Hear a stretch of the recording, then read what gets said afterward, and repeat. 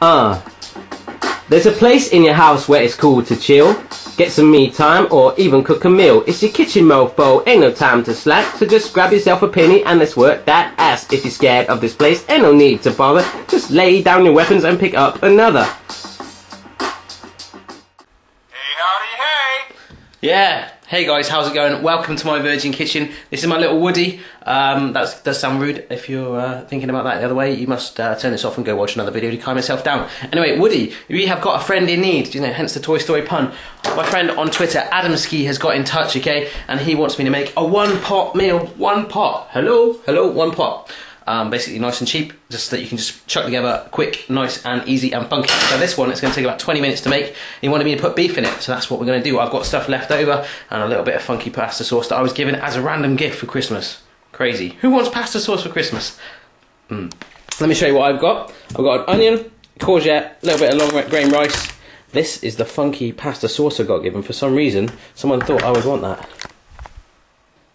Anyway, I've got some strips of beef left over for Christmas as well. I'm just going to finally, chop that. But you can use any meat you want. You can use pork, you can use minced beef, just all chopped up and just stir it all in. Anything you want, anything. Whatever you got lying about. Turkey, chicken, pigeon.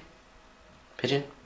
Uh, mushrooms, I've got some leftover mushrooms as well, they're sliced up. And all we're going to do is basically just chuck it all in this pan. And if you've got any herbs and spices that you want to chuck in, just grab stuff from your cabinet and just whack it all in. It's so customizable, you can do whatever you want with it. So this is one is for you, Adam, and uh, let's get going.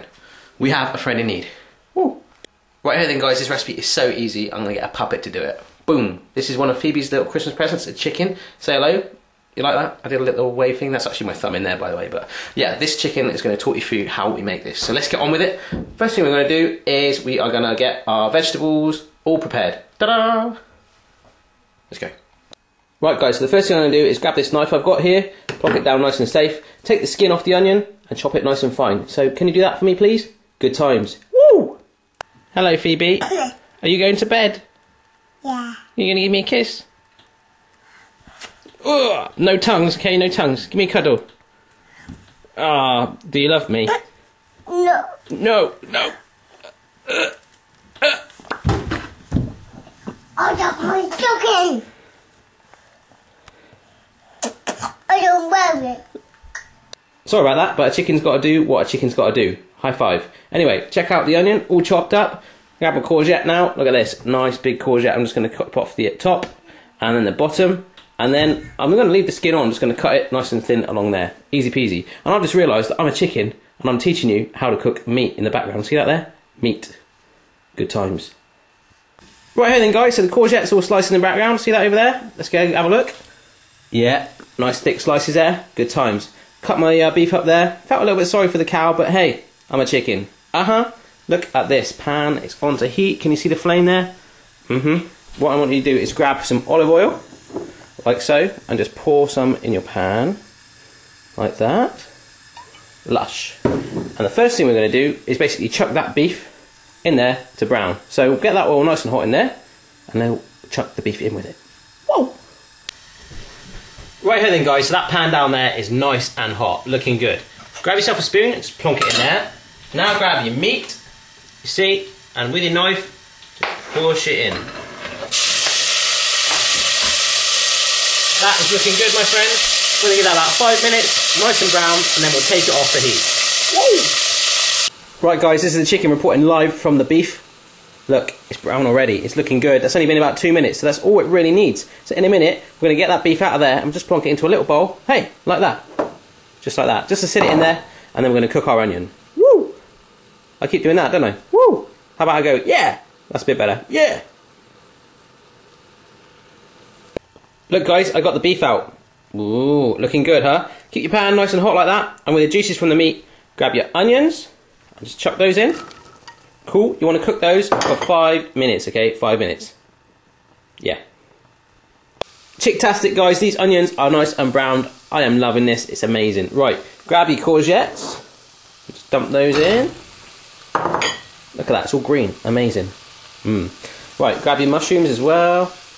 Pop those in. This is a time if you've got any other vegetables to shove it all in as well. Remember, you can sort of get all creative with this. Any vegetable you want, but no chicken. So basically guys, I'm just stirring this all through, making sure it's all nice and softened, and then we'll start to bring in the rice and our tomato sauce. Mm hmm Right, guys, it's starting to get all softened in there. I love how mushrooms, they're all big, and then all of a sudden you cook them and they go, and they shrink. Loving it. Let's start to add more stuff in. First of all, let's grab our rice. Yeah. So 200 grams of rice, in that goes. Lush. Now let's grab our tomato sauce mixture. Mm-hmm. Here we go. Nice. That was kind of hard for a chicken to do, by the way. Keep going. Now grab your beef and put it back in there. Like so. And the next thing we need to do is just grab a load of spices, okay? Right, so this is a vegetable stock cube that I've grounded up. Uh, it's a vegetable one, not a chicken one, I might add, okay? Mm-hmm. Just pour that in there. Good. Now I'm going to get some black pepper. You see that? Just chuck that in there. And finally, some mixed herbs just in there. Pour that in there. What I'm going to do now is add a little bit of water to interact with our stock cube, and that will be simmered now for about 15 minutes. We're going to be ready to eat it. Chicken tastic. Yeah. Yeah, so water, pour that in. Ooh. Nice. It was a little bit bone dry before. Let me just pick you up and show you. Check this out. It's looking good. We need to bring that to the boil over a nice low heat. Keep stirring it, blend it all in. We're going to mix these flavours up. Whoa! Right, guys, hopefully you can see behind me there, we've got a simmering pot of multicoloured goodness, and the smell is amazing. You're going to love it. Give it a stir every now and then if you want, but the main thing is to simmer it just to make sure the water all goes away and it starts to thicken, okay? And the rice will hopefully be revealed and all cooked. Amazing! Loving it. Chicken-tastic. Yeah. Right here then, guys, about 10 minutes in, and behind me there, the rice is starting to soften, as you'll see in a minute. Little chicken joke for you. What is the worst day of the week for a chicken? Friday. Get it? Chicken, egg, fry? No? Okay. Anyway, yeah, this pan. Let me just pull this up. You can see the rice is starting to soften there. That's great. That is what we're after. Let the water bubble away a little bit longer, and then it's ready to plate up. I'm actually going to have some garlic bread with mine. Mmm, yeah. Right here then, guys. Looking good. All absorbed. Let's get out the pan. Mm. Right, so this is the bit when Barry normally clicks his fingers and then the plates appear and the ingredients and stuff like that. So I'm just going to go, boom. There's the plate. Now let's get the recipe on there. Boom. Amazing, huh? Not bad for a chicken, eh? Cha-ching. I'm just going to shove my garlic bread on the side. Et voila. Hey presto, let's have a better look at that. That is looking good, my friends. I am loving that. Let's see what it tastes like. Yeah. Right here guys, I'm just going to have a taste of this. Oh, wow. That tastes amazing. Well, thanks, Adam, for that recipe. And if I can do that, being a chicken puppet and all, absolutely anyone in the world can. So, have a go for yourself. Let me know how you get on. And I will, or Barry will, see you again next time. Bye!